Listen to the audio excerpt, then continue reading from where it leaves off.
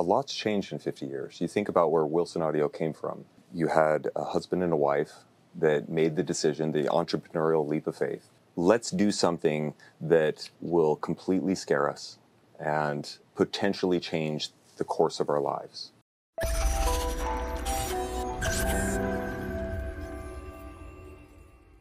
Welcome to the StereoNET channel. Today we have a very distinguished guest, Daryl Wilson, the CEO of Wilson Audio. Firstly, welcome, Daryl. It's a pleasure to have you here in Australia. You've come a long way from the US. Congratulations on getting to almost the 50th year of Wilson Audio. That's a milestone for an audio company and most companies in the world. Is there a buzz inside Wilson Audio at present as you near this moment? And are you planning to celebrate in a special way? Thank you for having me, and uh, I, and I apologize if uh, I'm a little jet lagged, and so I'll do my best during this interview. There is a buzz, and we have several um, fun things in the works right now. Some uh, projects that we can't quite discuss right now, but you'll be hearing about before the end of the year. Um, it's a lot's changed in 50 years. You think about where Wilson Audio came from. You had a husband and a wife that made the decision, the entrepreneurial leap of faith, let's do something that will completely scare us and potentially change the course of our lives. And my mom put it well when uh, they were talking about, well, should should we build these loudspeakers, continue recording, doing these types of things, and, and be our own business, be our own bosses, or should we continue to work? You know, pharmaceutical is is what my dad was in before. And uh, she made the comment, you know, if we look when we're 50 years old, if we look back, do we want to think, what if? And so they made the, the leap, and, and I'm very grateful that they did. And I think there are a lot of music lovers out there that uh, also feel the same. So, Wilson's Audio's first product was a turntable. You've mentioned audiophile recordings, and then you went into loudspeakers. Are there any other audio products that Wilson Audio have been interested in? Yeah, we've done we've done several things, and there have been a lot of products that we've started developing that never made it to market because they didn't reach our standard of excellence. Right now, we have uh, 2A small compact um, shelf loudspeakers. We have uh, a variety of floor standing full range speakers. We have powered and passive subwoofers. We have center channels. We have uh, surround products and products that can be used for Atmos systems. I think we have a really wide variety of, of products. One of the things that companies do that tend to diminish the brand with time is think that they should be the solution for all applications. And you start losing what your culture is at that point. Mm. Um, so we we tend to be very hyper focused on what can we do in the loudspeaker realm and do it to the level of excellence that we demand from ourselves and our customers demand from uh, from our company every year during our annual meeting, we of course we throw out all kinds of ideas. Should we do this? And and and dealers and distributors, they're asking us for this kind of product. Do we want to spend our resources, our time and energy, which is very limited, on developing or expanding into this other area? So where we are right now is a net result of you know 50 year almost 50 years of talking about that kind of stuff. Mm. Um, so we're we're very happy with the the product lineup that we have right now and um, like I mentioned before, 50th anniversary, there's some fun stuff coming. Good. Uh, how do you characterize the improvements of Wilson audio products in the last almost 50 years?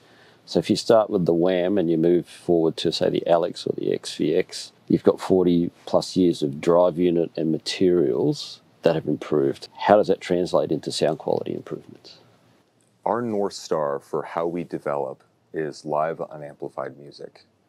So, having had the privilege of listening to music in the Concertgebouw and um, the Musikverein, uh, local halls in, in Utah, Abravanel Hall, Severance Hall in Cleveland, just hearing music in, in, in spaces and having access to those spaces during rehearsals where we could walk around the room and listen to music because when you're in a hall, no two seats sound the same. And people will argue well what's better going and hearing a live you know performance or listening to my system at home? And frankly i, I think that it's impossible to hear um, in the hall during a performance what the microphone's picking up because the microphone is physically in a place that no one can physically sit. And so you'll never get that sound right? It's just a different type of sound. But using that as a reference, my father and Wilson Audio in general over the decades, it's always been that is the North Star, and then what technologies are available to us now to get as close to that as possible. And so you look at a loudspeaker, the anatomy of a loudspeaker, you've got the drivers, and you can refine and fine tune those. And driver technology has gotten uh, much better over the years the enclosures how how dead and damped can you make the enclosure sound? So the only thing making noise is the drive the drive units. And that's come a long way with computer programming and uh, cnc machining and precision there and material research the types of materials that we use. Back with the original WAMM, uh, we used um, uh, aluminum baffle. We we used a variety of woods, including birch and and plywood. You know, in the early versions, and then of course we developed uh, X material, S material, now V material, and those all have very specific characteristics, um, sonic characteristics. So you have materials with the enclosures. And then you look at the anatomy of a crossover and the components in the crossovers back when my father started making loudspeakers uh, on, in a commercial sense, we didn't have a capacitor manufacturing department inside of the building. And so now we're able to experiment, wind, and uh, create capacitors in, in a very unique way that is exclusive to Wilson Audio. So, um, pulling back at um, and looking at each of the elements of a, of a loudspeaker, you can point at the footers, the enclosure, the crossover, the drive units. Our ability to measure time alignment and the accuracy within a system, cable technology, all those things over the last 50 years, each one of those pieces has gotten better and better. Mm-hmm. And it's up to us to make sure that we're refining the system, um, that we're finding the best solutions or creating the best solutions in that specific area. So, Wilson Audio has become an uh, aspirational brand and even considered the pinnacle by many users or want to be users.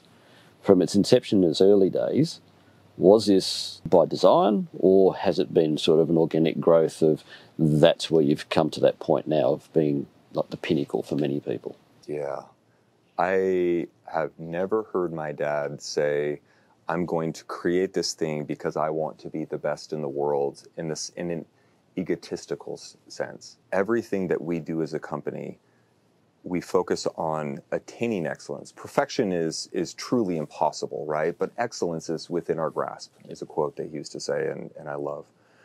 Uh, perfection is kind of the vision, but our everyday actions is the path, and that's that's the pursuit of excellence and excellence in all things. Building the best and doing the best you can, and especially when you have a team of craftspeople at Wilson Audio that are competitive by nature and artists in their hearts.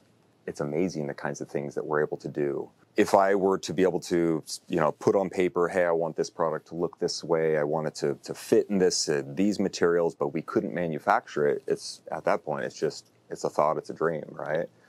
So it's a combination of the quality of of the team that matches the vision of the designer to be able to create the product that can be consistent and manufactured time and time again um, and and be repeatably excellent. Mm. Um, so going back to your original question, as far as you know, being the best, I think when you put that formula together, that it, the net result is something that is aspirational that like a like a sword handcrafted in Japan that takes a long time to make and is state of the art for what it is. A person could argue, well, the material cost is this, but you're not taking into account the life that that person put into honing their craft. And Wilson Audio is, is the average tenure, tenure at Wilson Audio is 12 years with 60 employees. Um, so the the knowledge, the depth of knowledge within our our craftspeople is very deep, mm. um, and that brings a lot of value, and it, and it and it allows us as a company to to envision products that are just beyond what we can do now, and we figure out how to do it. And that that there's a lot of fun, and and it's challenging, but a lot of fun. That I've read that Wilson Audio loudspeakers have been chosen by famous people such as Wesley Snipes, Lenny Kravitz, uh, and even Steve Jobs, who was a, an avid audiophile. Are there any other interesting or celebrity owners that you might want to mention? uh, there's a funny story with this Steve Jobs. My dad was at his house, and uh, they were uh, uh, setting up and listening to the X1s. And uh, Steve Jobs' son, his snake got out of his cage, and they spent a lot of time on their hands and knees looking for this snake around the house. And so, um, through the years, I've always appreciated um, hearing that side of it. That it's not always about you know designing the best loudspeaker, and there's such a human side of this. And I think all of us as people who love music and are audiophiles, or just people that, you know, at the end of a stressful day want to sit down and and not worry about that stuff and just leave that right at the door as you go into your listening room and play your favorite music. Right at that point, it's not about the the you know what's the cap- capacitor made out of. It's about this is my release. This is this is my escapism. Staying connected with the the human element of what we do is very important. There are other people that that people know. Lenny Kravitz, uh, Paul McCartney, Puff Daddy has them. Uh, they're the people that I found that I engage with at shows or I'm introduced to that really dive in deep. They're the producers. They're, they're the people behind the scenes that have to listen and do the quality control on what the mix sounds like Yeah. and it's their job and and it's what makes or break the album right does it sound good does it is it is it representing what the recording artist really wants the listener to hear um, and so those people the, i have very interesting conversations with those kind of people Yeah. Wilson Audio has never been afraid to innovate. You've mentioned here today around a bunch of craftsmen that exist at Wilson Audio.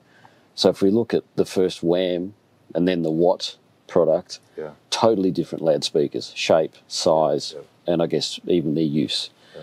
But both stunned the audio world. What drives this process of innovation? And is it easier with your craftsmen within Wilson Audio? I, I have to go back to the North Star.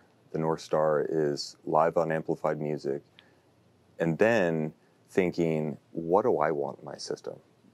We wouldn't be developing a center channel if we didn't want to put that center channel in our system at home, and we wouldn't develop it in a way that we wouldn't be proud of. Going back to the original WAMM, the ultimate reference tool from when my dad was a, a, a young boy inspired by an event that fooled him to think that carolers were outside of his bedroom. And it was just a Klipschorn that was set up down the street, right? So, so he was fascinated with that. That speaker made me think that people were there. Mm. Speakers can transport my mind to believing something there that's not. And so he studied and learned, and, and you know, over the next uh, uh, decade and a half, he and his friends would build makeshift, you know, Heathkits and, and loudspeakers and, and whatnot. And then he became a recording engineer and then needed a tool to be able to hear what he was hearing in the hall. And so the original WAMM, you know, was made. And, um, and then he had a situation where he went to a recording session, spent a lot of time and effort and, and money to be able to record and brought home the master tapes, played it on the WAMMs, and it didn't sound like anything like he experienced. Mhm. And that's because he was using the studio monitors that were provided there, and he was making EQing decisions based off of what he was hearing out of those. And so he realized I need to build a compact system that I can carry with me with all my gear that speaks the same language as the WAMM. And so he put the same time and effort into developing the Watt as he did the WAMM. The purpose wasn't to really sell it. The purpose was it to be a tool for him. And my mom was like, people are going to want to buy it. We should show it. And so he showed it. And after that CES, they had like five new dealers that wanted to come on board and they were, you know, taking orders for him. And my dad was really, sur- my mom wasn't surprised because she sees the genius and she sees, you know, what he's capable of doing, but he's just doing what he loves. Yeah. Um, so deciding what the next product is, is um, what do we want in our house? And um, for instance, the Alexia, Alexia V is the current model of Alexia, and Alexia Series 2, there was five years, five years of development. You think about the XVX and you think about other products, the Alexx V and, and other things that we were developing. And then you look at the Alexia Series 2 after five years, and it's like, look at all the things that we did at a grassroots level that we could implement in here and have over 30 changes and they're significant. You know, one percent improvement in sound here, three percent here, half a percent here, but you add all that together, and it's a substantial, you know, improvement in mm-hmm. product. And so that's the way we develop when you know when I I've got Alexia V's in my home, right? And so when I think about I, I want this system in my house. I want to make it the best I can, Yeah. and so I make it for me. Our R and D team, we make it for us, and our craftspeople, we engage them. We I, every time we have uh, uh, our second version of prototype, I bring down uh, the craftspeople, and it's like, how would you make this better? What do you think about this? And and we get you know great uh, conversations. Um, and, and products evolve in a very good um, organic way with that process.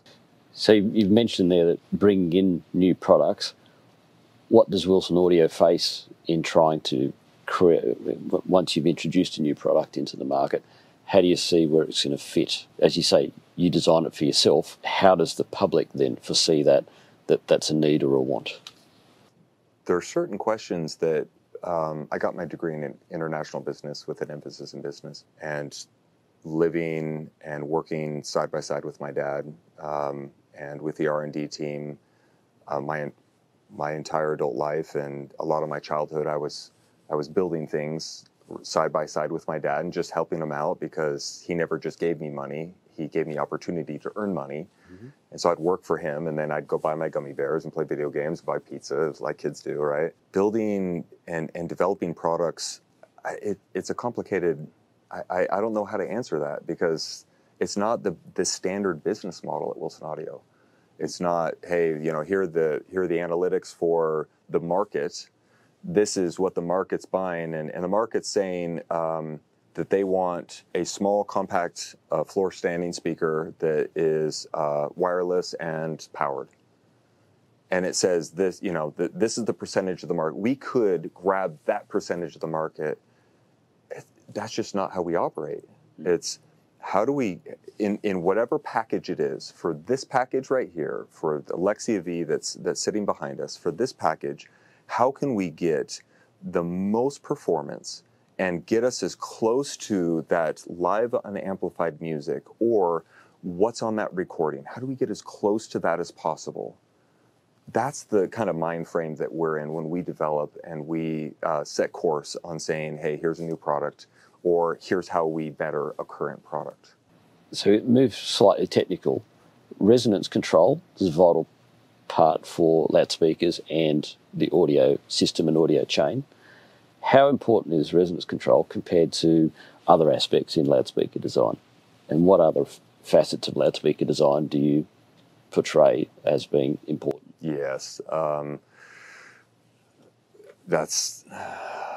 We spend a lot of time making sure our cabinets um, are inherently damped, and um, we develop our products, especially with the V material, the V series products, where um, we've developed a product that is incredibly dead and damped. And so it creates isolation between cabinets. It creates isolation and vibration sinks. That is very important to us. An enclosure where you start turning up the volume, and of course SPLs go up, and and the woofers especially. I mean, they're really moving, and there's a lot of pressure there. If the enclosure is is singing along with the music, that's technically distortion. So anything that's not coming from the drivers is distortion. So we want to minimize that. However, if you have um, in the hierarchy of what's important for us, if you have um, an enclosure that is mostly damped, it, it you know it, it creates a little bit of noise, but the timing is absolutely accurate on it. So the signal that is being fed from the crossover to the mid range and the signal that's going to the woofer woofers in this case we'll say uh, Alexia V, um, and the signal going to the tweeter if those are perfectly aligned at the listening position, there's going to be a sense of scale and depth that you can't get if it's misaligned. All these things are important. Uh, time alignment is is the, the highest element on on our hierarchy of, of importance. Frequency response, I think we've gotten to a day and age where uh, with computer modeling and and current technologies that any loudspeaker worth its weight in salt really can get a relatively flat frequency response. And i'm sure with stereonet and as you test stuff that you're you're seeing more and more it's like okay we run the sweep and it, yeah it's pretty flat right but does does that directly translate to engagement? I think it's important. You never want something where a tweeter is 10 dB, you know, hotter than a mid range. You're going to hear that. Yes. So I think that almost everyone can get relatively flat, and so um, damping of enclosures uh, is important. But if if you have a, a, a tweeter where you're hearing the information, um, you know, 50 microsecond, 100 microseconds before the mid range, your mind translates that to synthetic, that it's not real, that there's a that you're sensing something's disjointed and unnatural. Mm-hmm. It still sounds like a violin, still sounds like a bass, right?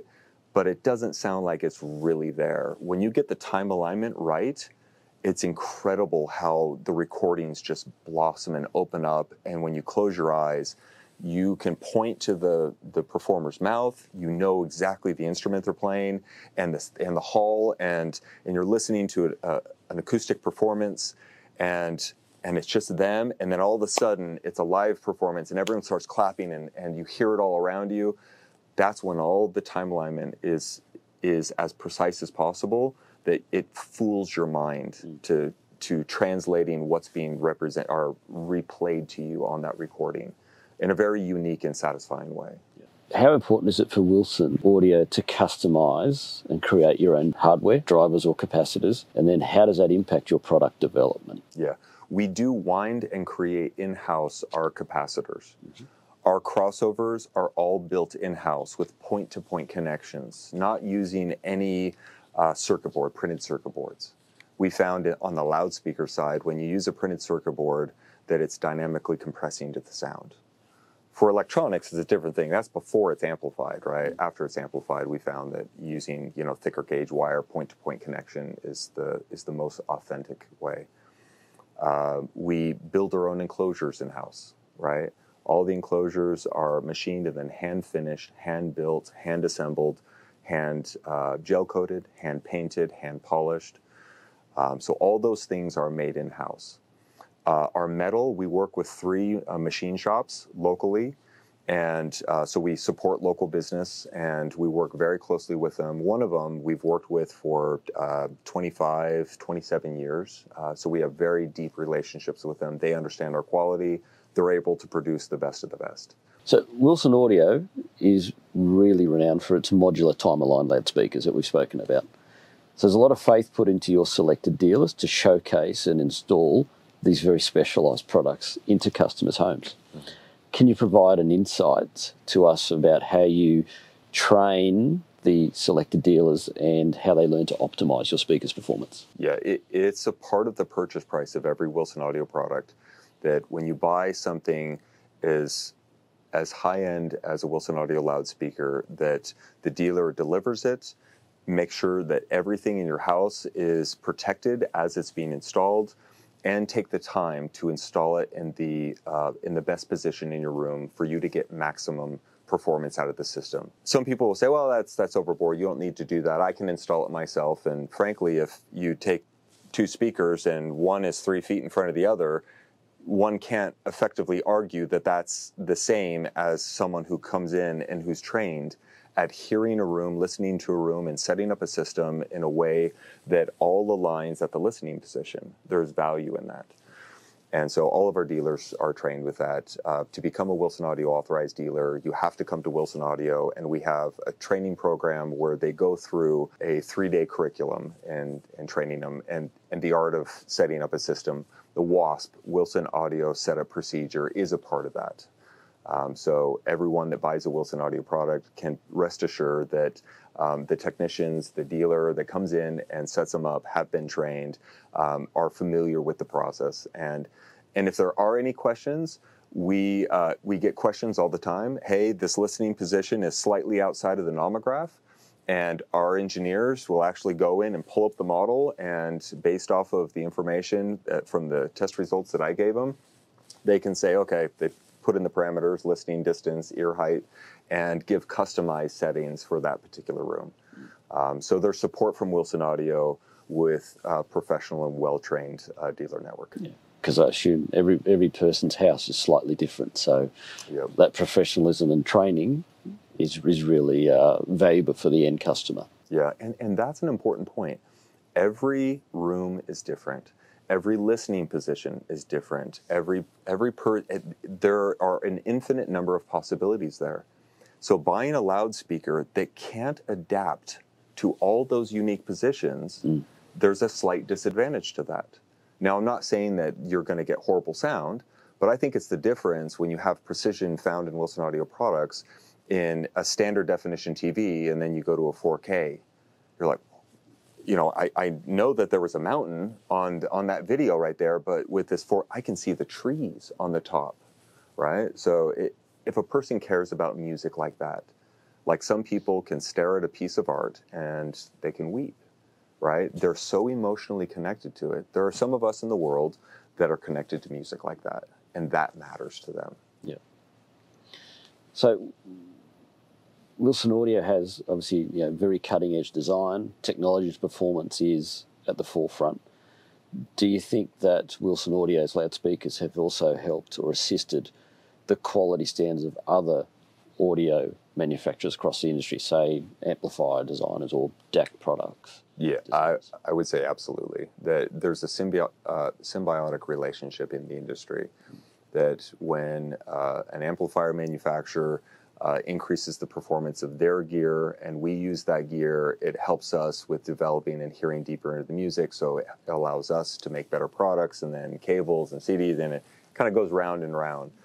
Uh, there are a lot of manufacturers in the industry that use Wilson Audio products as their test gear. Just like with Wilson Audio, we use a variety of, of amplification and CD players and turntables and cables to uh, evaluate and to make our decisions.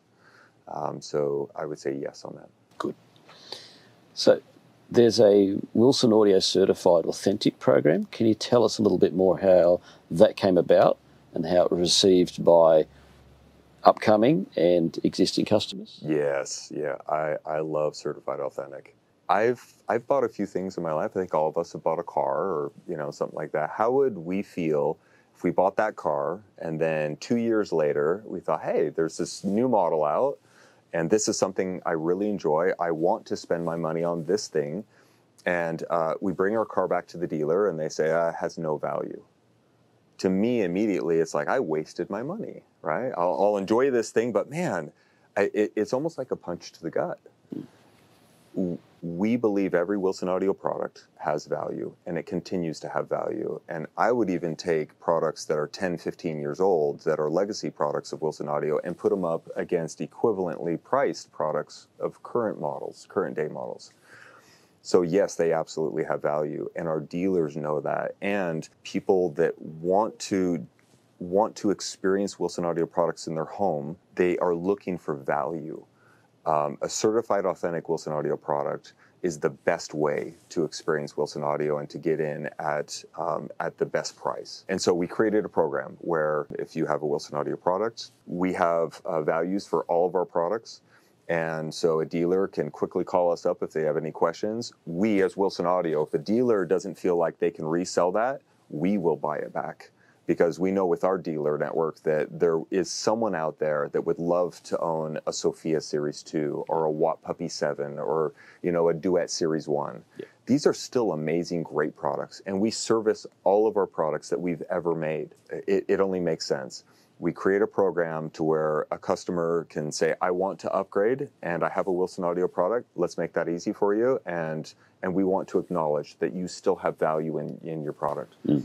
Wilson Audio products hold their value uh, longer and stronger than just about any other loudspeaker um, uh, products out there.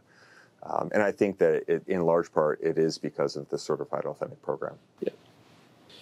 You've mentioned earlier in the interview around uh, your father, David, who created the company, passing in 2018. Must have been challenging for yourself and for Wilson Audio. So, can you tell us a little bit more about that and were you personally reticent to take on the task of leading Wilson Audio? and how much help and support did you get? I received an incredible amount of support.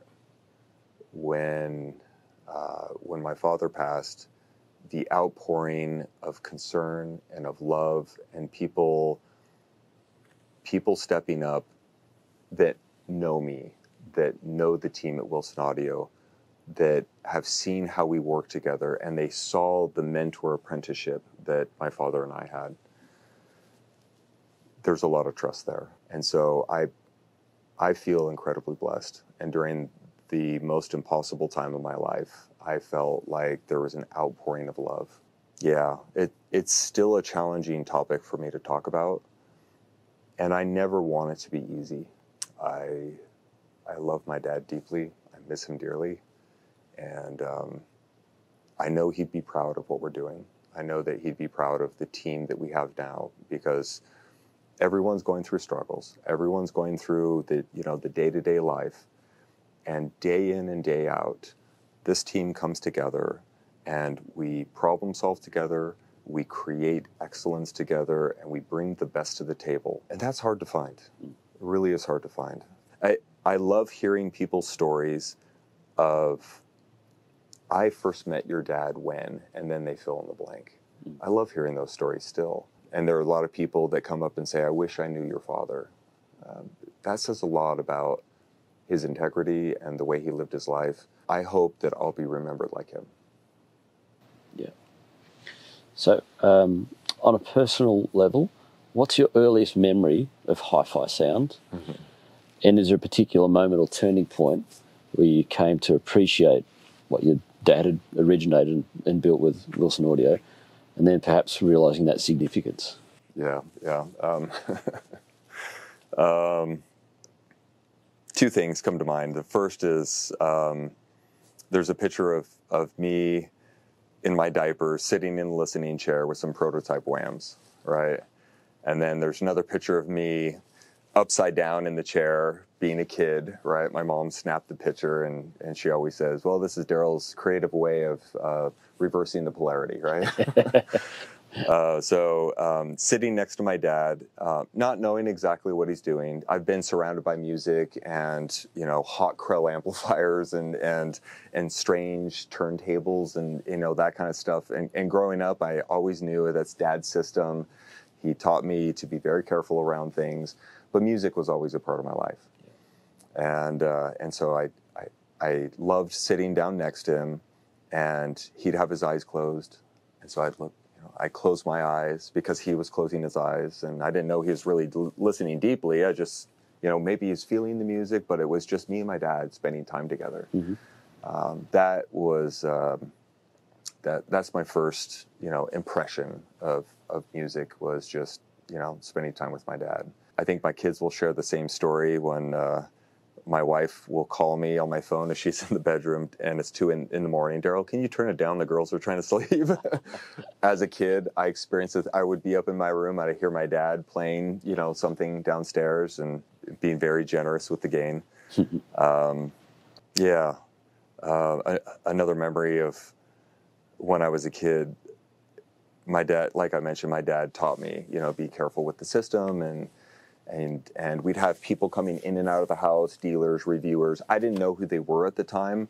It was just you know respect that time, go out and play kind of thing and uh, so I knew how delicate the system was, and you know, don't t- touch the turntable. And the cats got to sit on the amplifiers to warm up, but my dad, they loved it warm, yeah. uh, and my dad would have to always you know spray out and you know get the cat hair out of the Krells. But there, there was one time they went out of town, and we had a babysitter over, and um, and she was vacuuming by the WAMM, and the vacuum hit the corner of the WAMM, and it chipped off a piece of the WAMM. And as a kid, you know, you don't know any better, right? Mm. And I'm thinking, my dad's gonna kill her, you know, as a kid would think, right? And he was a perfect gentleman about it, and and not a big deal. They had it fixed and whatnot, but um, yeah, the the way that I experienced a sound system um, living in the Wilson home um, is I recognize absolutely unique. Met a lot of a lot of people coming in and out of the house. Uh, got to hear a lot of great music. I got to see my dad engage with his passion and his hobby on a daily basis and get really excited about things. And there are other days, um, there's a lot of table talk, a lot of talk around, you know, the, the dinner table of things they were concerned with that I was privy to because we were all eating dinner. Yeah. Right? That was just the life that I grew up in, and I'm, I'm very grateful for it. There's a period of t- in time where Wilson Audio was known for spending whatever it takes to make the best product. Um, do you still take that approach now uh, to new designs? And are you able to look at uh, either more structured or calculated approach to introduce something into a product or a product into the market today? Oh yeah, there. You look at any of our designs, and you can say, "Well, does it really need this? Does it need that?" And and you know, you can go back and forth, and and um, a person could nitpick a, a system, and yeah, I guess we could have a, a less expensive, you know, finish.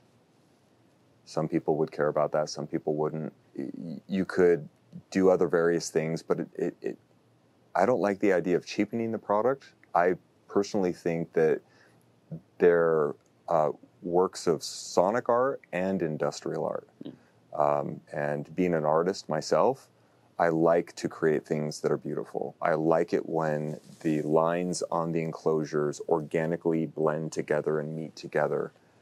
We could do things less expensive and not have that, but to me, that's a part of the art. That's a that's a part of the beauty of it. And and in fact, these speakers do have to be in a person's room, and people do have to see them when the music's not playing. You know, as audiophiles, we close our eyes when we listen to music, but you do have to see them. And for us who are married, you know, we have to have something that our wives will like. And so, having a variety of colors and, and grill options and hardware colors that that you can choose from, I think, uh, really help with that. Yes, we could make decisions to make it less expensive. I won't make decisions that will cheapen the product based off of um, someone else not thinking it's beautiful. If I think it's beautiful, then I want to create the art that I want to create.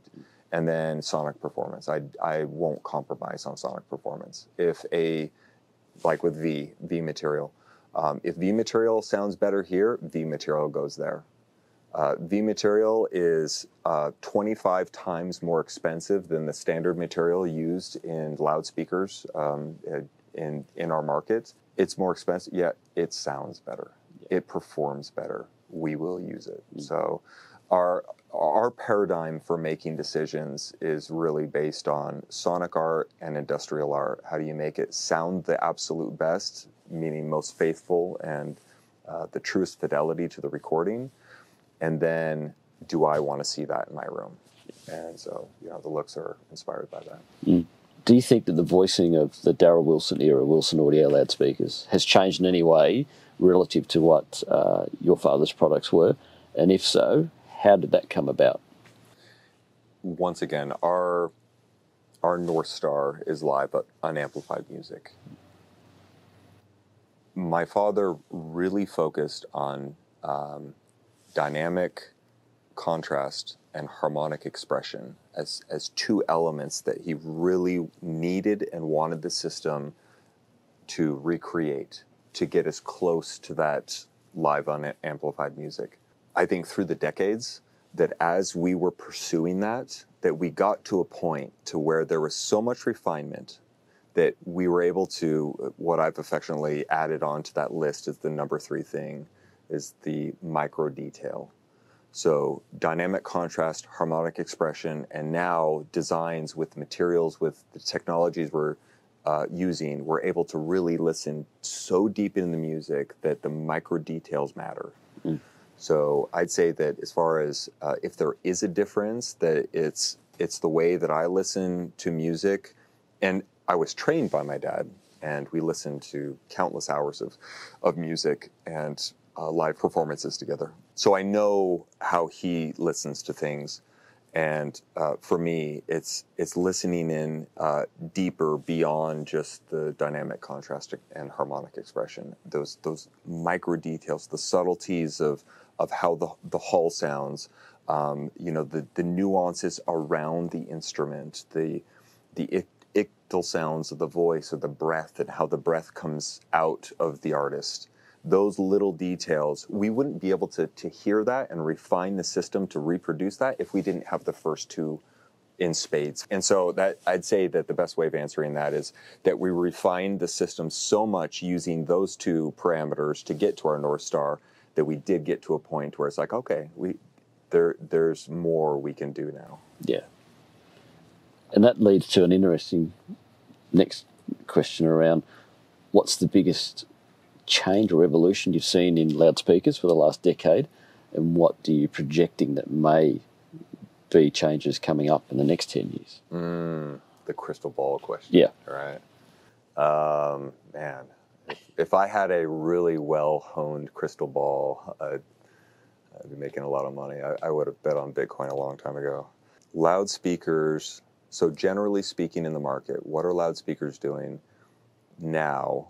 I think that um, the industry in general and as a whole is better off that loudspeaker manufacturers are spending more time and resources making better cabinets. Better material research, I think, is uh, benefiting the, the entire industry. I, all, all, loudspeaker manufacturers that participate in that and actively engage that are, are doing exceptionally well.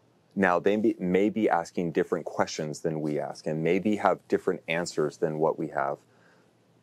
I still respect it you know, what Rockport's doing is uh, incredibly fascinating, and um, I respect a lot their process and what they do to create their enclosures. They're asking slightly different questions, and they're and and they go down a different road than what we do, and prioritize things a little different than we do, and that's okay, right? That's that's their art. Our art is focused on different things, and I think that we can have and we should have respect for you know for different um, designers and artists that that bring their best to the table and they're willing to dedicate their time and energy and their lives to answering the questions they feel are most important to them. What I don't have a lot of respect for is uh, companies that come into our industry that say, "Hey, these these other companies are, are selling X, Y, and Z for these amounts. We can create a product as cheap as possible and put it into the same category because hey, the the consumer won't know the difference."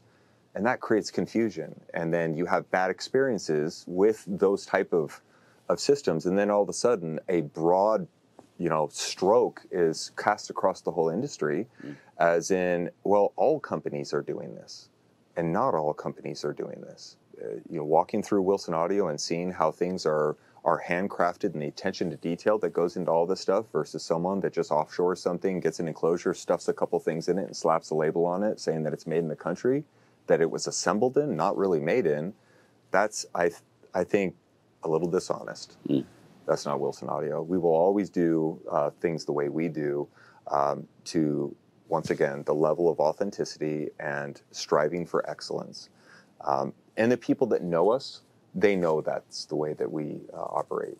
Um, and the people that don't know us, I hope that they find us on, on our website, on Facebook, on all the social medias. I hope they do the research. I hope they watch our YouTube channel and, and really get to know us. We've got a great uh, Wilson Way book. It's the, the first 50 years, or well, it was, it was right after my dad passed. It's the first uh, you know 47 years of Wilson Audio. There's great history in there, and and if people uh, want to understand and know Wilson Audio, there, we've provided lots of resources. Moving forward, the next decade, what the crystal ball? Yeah, yes. Where, where's the crystal ball? What's it showing? Yeah, so so to take that thought and and say what I'm seeing in the industry and areas that I really respect and areas that um, uh, I think may be harming the industry. I think in the future there's going to be uh, more companies that see this industry as um, as a potential place to make money and take advantage of people. I hope that there's less of that. I think that we're surrounded by people that care enough about this industry and and authenticity that there are enough brands that are have really brought exceptional products to the market where it will it'll push out these other you know companies that are I guess pretending so to speak but trying to trying to profit off of it I think that there's going to be more advancements in material research and uh, application, specific application of those materials. I think that uh, driver technology is going to continue to be explored. To some of them will be fruitful. I think some won't be fruitful, but that's the nature of it, and I think that's the way it's been for you know as long as the industry's been around. And I think the biggest area is going to be materials. Okay. And that so f- final question is, um, mentioned that Wilson Audio is about to celebrate its 50th anniversary. What do you think high-end audio will look like in another 50 years, and what role do you hope that Wilson Audio plays in that? Uh, does Elon Musk get his way? That's the, the part of the question that's important, right? Because if that's a part of the question, then we all have neural links at that point. We're all streaming music directly to our brain and we're experiencing this augmented reality. And, and who knows, it might be apocalyptic. I don't know, 50 years from now. Um, uh, we'll be listening to great systems on Mars. How about that? Okay. I, yeah, I don't, I, I hope that, I hope that that companies that have a group of people that love what they do continue to refine their craft and continue to make great products, no matter if it's electronics or loudspeakers or cables or whatever, that companies continue to do that. And we, as people who are passionate about experiencing music at the highest level, continue to be rewarded by seeing advancements in all areas. Yeah. So, on behalf of StereoNET, thank you very much, Daryl, for your time today and sharing your wonderful insights into Wilson Audio uh, and with everyone. It's really been my pleasure. Thank you for having me. Thank you.